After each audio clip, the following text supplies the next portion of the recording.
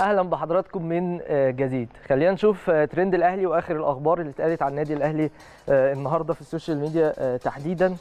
ونبتدي بالحساب الرسمي لموقع في الجول على تويتر واللي بيقول بعد نهاية مسابقة الدوري المصري رسميا المخيف محمد شريف يفوز بجائزة هداف الدوري المصري بعد تسجيله 21 هدف. بصراحة يعني عشان أكون واقعي مع حضراتكم أنا ما كنتش متوقع إن محمد شريف يجيب كم ده من الأهداف في أول موسم ليه بعد الأعارة. ما كنتش متوقع إنه ممكن يظهر بالمستوى الكبير قوي ده. هو لعيب كبير جدا وعامل موسم أكثر من رائع. إن شاء الله بإذن الله نتمنى له الاستمرارية. لو استمر محمد شريف على المستوى ده هيبقى يعني حاجة جامدة جدا جدا جدا جدا. واثق فيه قوي وجمهور الأهلي في ظهره. وإن شاء الله يفضل هداف الفرقة هو والنجوم اللي هيكونوا معاه في خط الهجوم. والفرقة بإذن الله كلها تكون موفقة يعني. حساب جول مصر على تويتر واللي قال إن النادي الأهلي هو أقوى خط هجوم في الدوري المصري.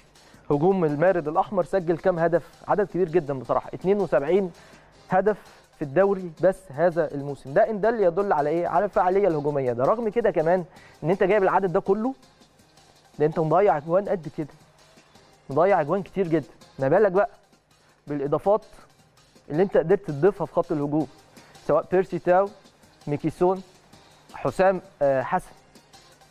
ثلاثي في الخط الأمامي يفرقوا معاك بشكل أكبر. هم مع مع اللعيبة اللي عندك أصلا في الخط الأمامي اللي هم نجحوا بشكل كبير جدا على مدار الفترة اللي فاتت كلها والموسم اللي فات فأنت عندك تشكيلة و توليفة أكثر من رائعة. بإذن الله بإذن الله التوفيق بس يبقى حالفهم هتلاقي كل الناتج اللي أنت عايزه كمشجع للنادي الأهلي. بإذن الله تعالى يعني. فحاجة جيدة جدا الكم الهائل من الأهداف في موسم واحد رغم إن أنت ما خدتش البطولة كمان لكن أنت جايب أهداف كتير يعني. إن شاء الله الأهلي يكون أفضل والقادم هيكون أفضل بإذن الله تعالى مؤكد للنادي الأهلي في الموسم الجديد. طيب خلينا كمان نروح لخبر آخر من الأهرام وحسابهم الرسمي على تويتر واللي بيقول الأهلي يدرس إقامة معسكر خارجي قبل السوبر الأفريقي. كل الأمور وارد حدوثها. منتظر إيه بس؟ منتظر القرارات اللي بتتعلق بشكل الموسم الجديد. والمواعيد الجديده الخاصة ببداية وانطلاقة الموسم. الدوري هيبتدي إمتى؟ لو اتلعب كأس مصر لو ما اتلعبش كأس مصر ودي النسبة الأقل. الدوري هيبتدي إمتى برضه؟ فبناء على كل هذه الأمور أنت هتحدد هل أنت في حاجة لمعسكر خارجي وده هيبقى أمر مهم قوي صراحة الموسيماني مع اللعيبة. إن أنت تستعد بشكل أقوى بعد فترة كبيرة مليئة بضغط المباريات ومليئة بالضغوط الكثيره تتعلق باختلاف وتنوع البطولات اللي بيشارك فيها النادي الأهلي فهيبقى حاجة إيجابية. وفي نفس الوقت أنت بتهيئ نفسك لكل الظروف ولكل القرارات اللي ممكن يتم الاستقرار عليها. فالأهلي منتظر المواعيد النهائية من الاتحاد المصري وبالتحديد بعد انتهاء الاجتماع النهارده. فخلال الساعات القادمة هنعرف إيه الجديد وبالتالي ياخد قراراته بخصوص شكل استعداده للمرحلة الهامة جدا المقبلة وللتحديات المختلفة اللي هياخدها النادي الأهلي.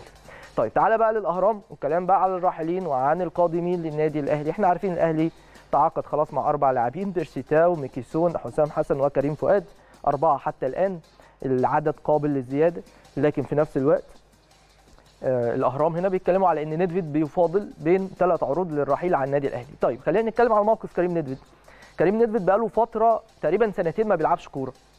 بقاله سنتين ما بيلعبش كورة بسبب الإصابة. كان قبل ما يتصاب قبل ما يتصاب كان أحد أبرز اللاعبين في الفرقة.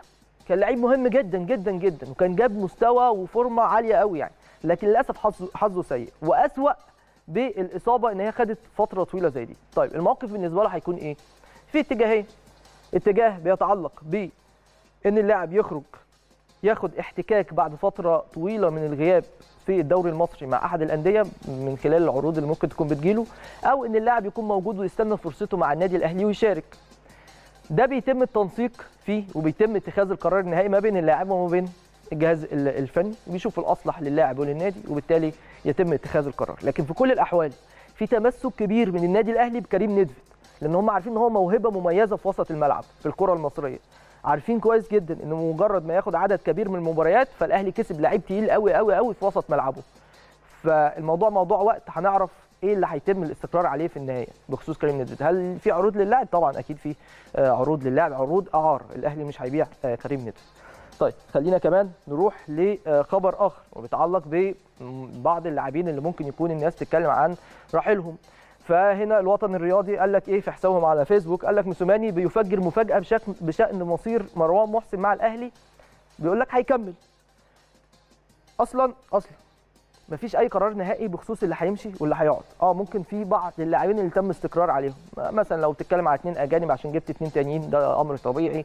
آه بتتكلم على بعض المراكز اللي أنت ممكن تطلع فيها لعيبة تاخد آه عدد دقائق أكبر بره عشان تستفاد منها. وشفنا التجربة دي الأهلي استفاد منها كتير جدا. أبرز مثال طبعا محمد آه شريف.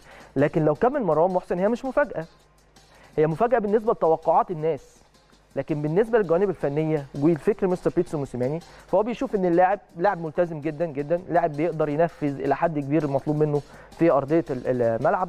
فكل شيء وارد كل شيء وارد حدوثه ممكن مروان يكمل مع النادي الأهلي لاعب مهم جدا ولاعب كبير. مش مش موفق في بعض الفترات الكبيرة ده بيحصل في كرة القدم لكن بيأدي الواجبات اللي بيطلبها منه الجهاز الفني. بخلاف كده الراجل ملتزم بيتقال له العب العب اقعد اقعد مفيش أي مشكلة خالص. فلاعب مهم.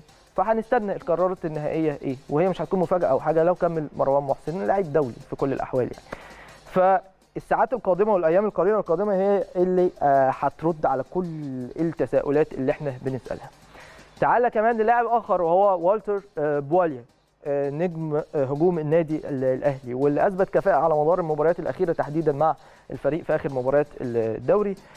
فده من خلال حساب بطولات على تويتر. بيقولوا إن اقتراب واليا من الرحيل عن الأهلي وانتقال إلى مالاتيا سبور. هم بيوضحوا الموقف إيه حتى الآن ما فيش أي شيء رسمي بخصوص هذا الجانب. حتى هذه اللحظة وأنا بتكلم فيها مع حضراتكم بواليا لاعب في النادي الأهلي. إيه اللي هيحصل خلال الساعات اللي جاية؟ هنشوف. هتقول لي طب يا عم تقول لنا معلومة أو حاجة. لا إحنا هنا دايما بنتكلم بالشكل الرسمي. إحنا قناة النادي الأهلي. فطبيعي إن إحنا هنقول اللي هيحصل بشكل رسمي لما بيبقى في قرار خلاص بيتم الإعلان عنه فبنقول لحضراتكم. بعد كده ممكن نقول لحضراتكم الكواليس كانت بتبقى ماشية إزاي. لكن حتى هذه اللحظة والتر بواليا موجود داخل النادي الأهلي ولاعب في النادي الأهلي. لكن بشكل بديهي جدا في اثنين أجانب هيخرجوا. ممكن بعض الأجانب اللي إحنا ما نكونش متوقعين إن هم هيخرجوا يجي لهم عروض. فبالتالي الله أعلم إيه اللي ممكن يحصل. فكل شيء وارد في كرة القدم متغيرات بتبقى كتيرة جدا جدا على مدار فترات الانتقالات المختلفة. ده فيما يتعلق بترند الأهلي وبخصوص آخر الأخبار اللي اتقالت على الأهلي في ال social media. هنروح لفاصل سريع وبعد الفاصل نرجع نكمل حلقتنا. يلا بينا.